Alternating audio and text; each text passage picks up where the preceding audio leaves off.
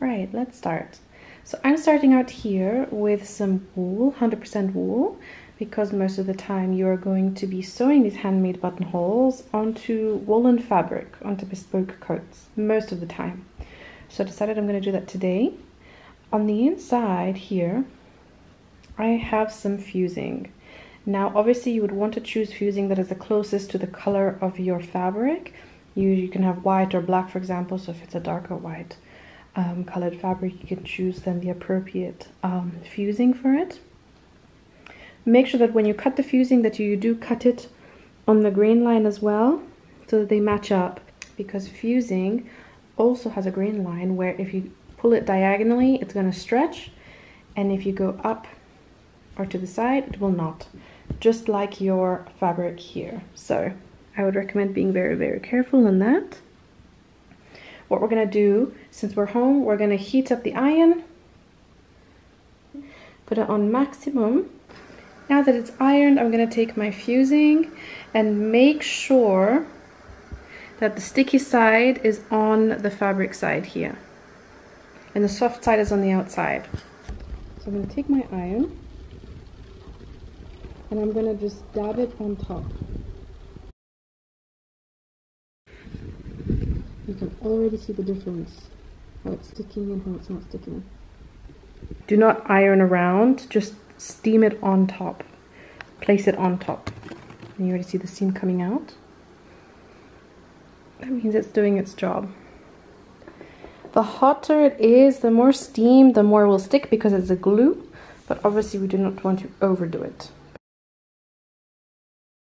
Fold it in half. I'm going to press it right here. Then I'm going to just quickly sew around, hand sew it, just to hold it all in place. I'm going to do my buttonholes through both sides of the fabric. So it's I'm gonna basically do it as if it was like a thick coat.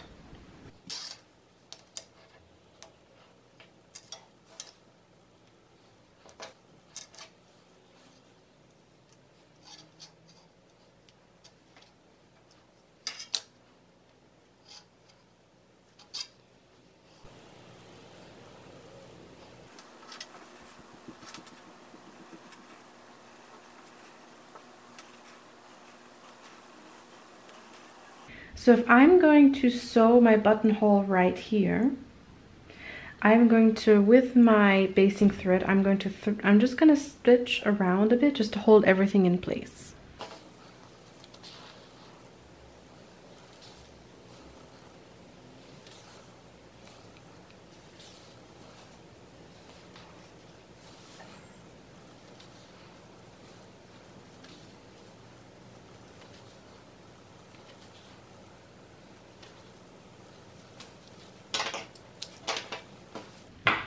Now I'm ready to move on to the next step. With a hole puncher, you can just punch a hole right in the top here. And then with your sharp scissors, you can just snip through very, very gently all the way to the end of your line here. We're going to do the overlocking with a regular thread. Normally you have to use a thread that is very, very close to the color that of your fabric so I should technically use a dark, um, a navy, so a dark blue. But for demonstrational purposes, I'm going to use a white. A very big tip on how to get your thread really nice and strong and avoid it from knotting is to use beeswax. So basically you just pull it through the wax a couple of times, up and down.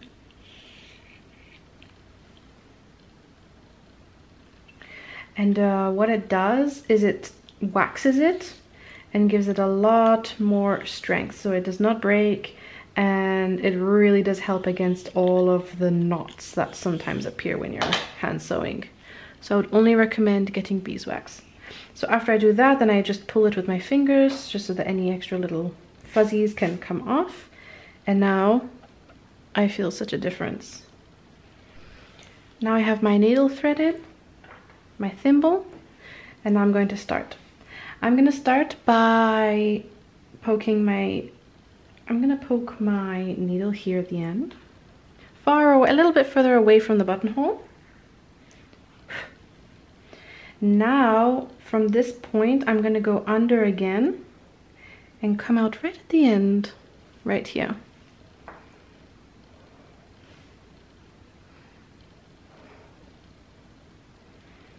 I'm gonna come out right here, right where the cut starts. Now it's secured. So I'm gonna now with my finger, I'm gonna, I'm with my hand, I'm gonna hold it here and hold it here. And this is basically my security here. I'm gonna now stitch using my um, needle. I'm gonna go under and at around a couple mil, four, three mil, I'm gonna poke out like this. I'm gonna come out.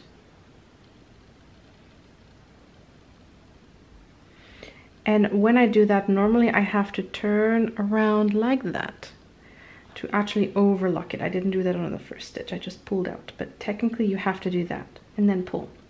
I'm gonna do it again, hopefully around the same distance, around three mil, and then pull. So your stitch, basically with this thread, it's supposed to actually disappear. It's an overlocking thread that goes underneath your buttonhole stitch, but it's basically to hold everything in place together.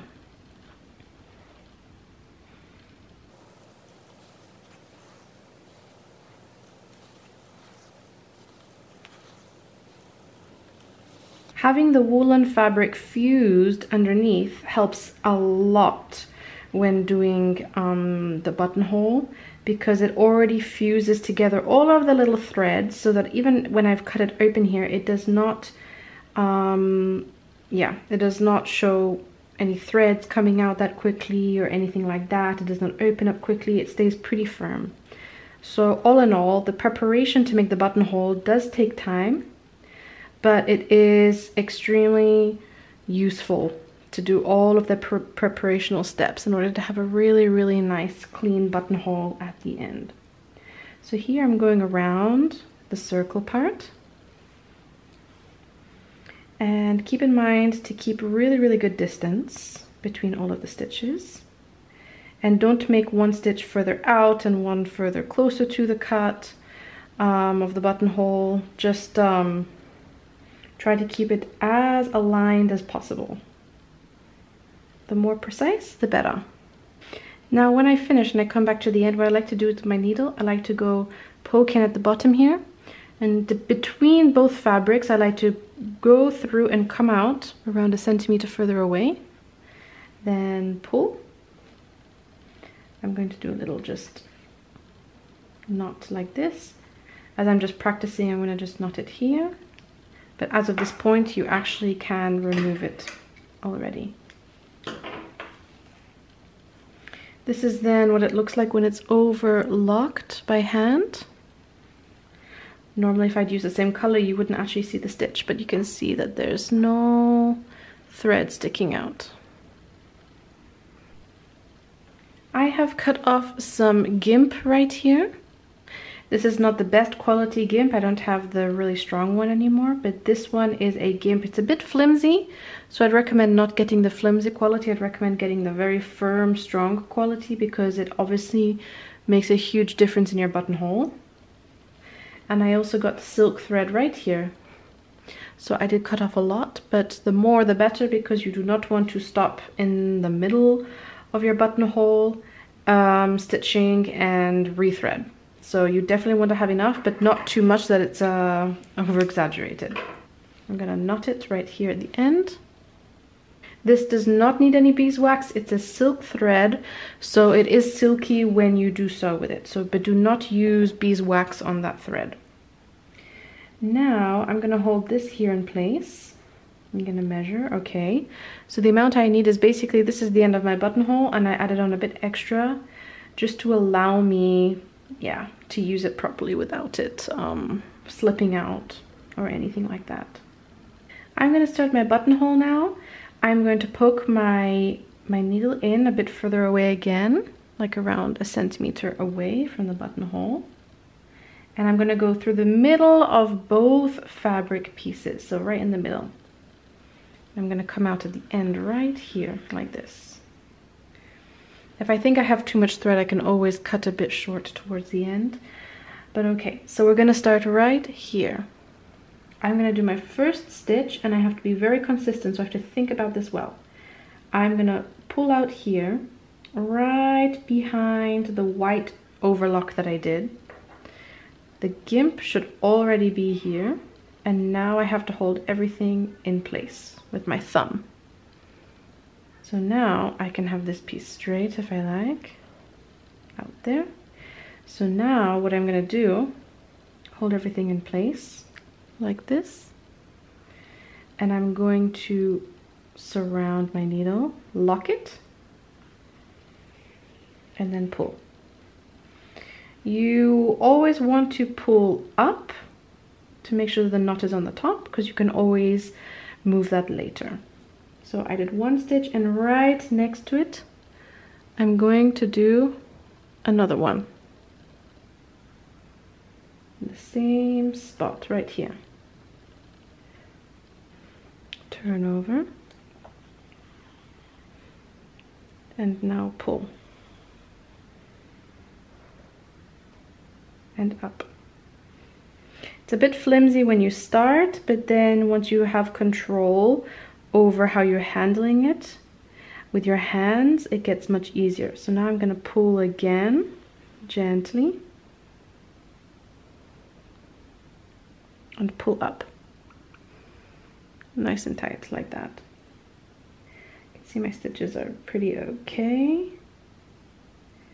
i try go on another one turn over and pull.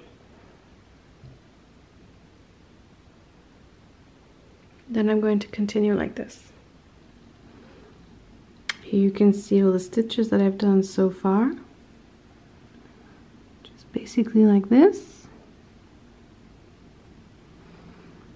You poke out right next to it. You slide the thread around. You pull. That's it.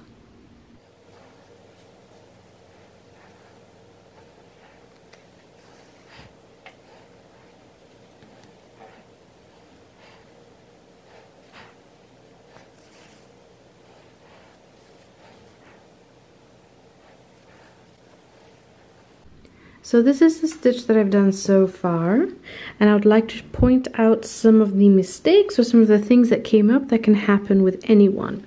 First of all, you see how it got a little bit wonky on the side? You can see the thread right here. Point number two is what can happen is you can get a little knot like that at one point. You see the little knot in there? That can also happen and you have to fix it in the moment. I only saw it one or two stitches later and I did not want to open it up, but then I thought I would show you as a demonstration that these knots can happen but you can fix them in the moment. So, but I left it here to show you, but you can fix it. Third, you may think it looks a little bit wonky, but that can also be fixed because right now we're going to pull on these gimps a little bit and straighten it out. To straighten out the buttonhole, we're going to be using this tool right here. I'm going to poke it right here and hold it in place so that it keeps the round shape. Hold it down tight and just pull like this. Don't tug too much because we don't want to pull it out too much, but just a little bit. And you just work with how you can feel it stretching. And then I'm gonna just push it like that in place, straighten that out. You can see it's puckering a little bit here, but that will go away once I open up all the stitches. And once I secure it. So I'm gonna push that in like this because afterwards I can iron it all flat.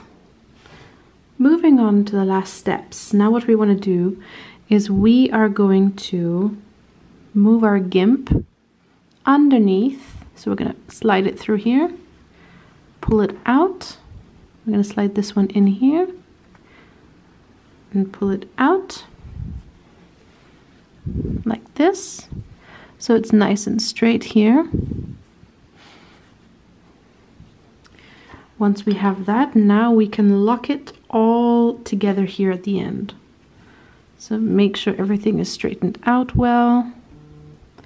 Last touches and so okay that should be it for now because we're still going to press it afterwards I'm going to stitch like this one end to the next.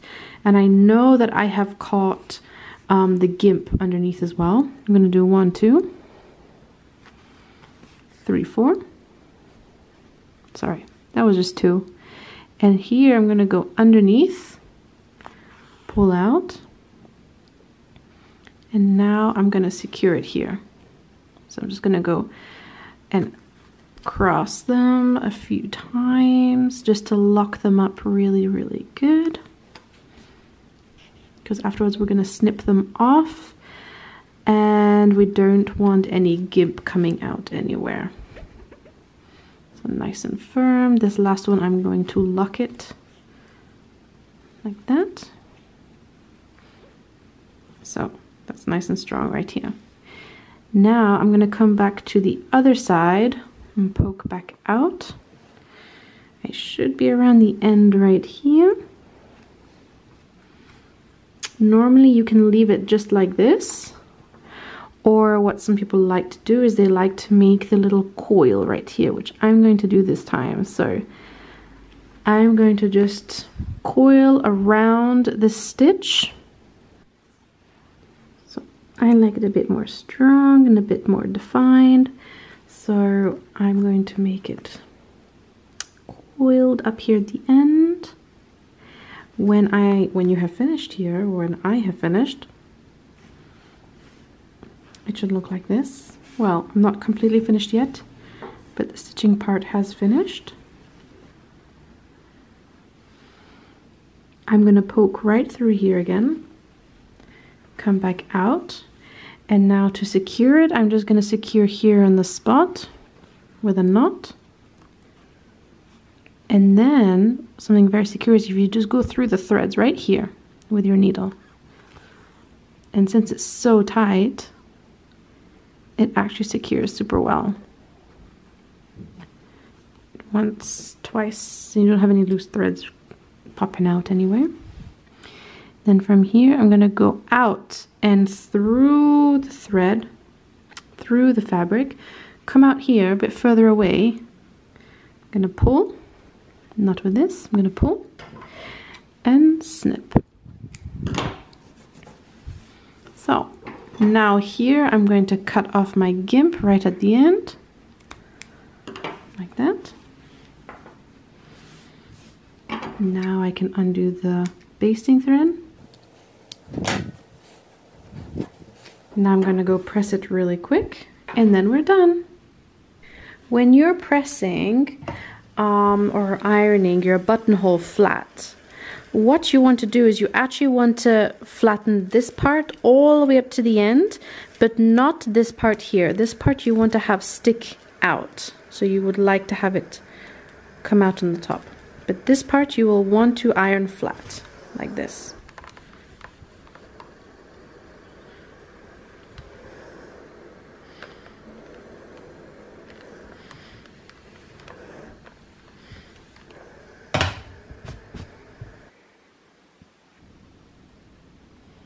That is your buttonhole.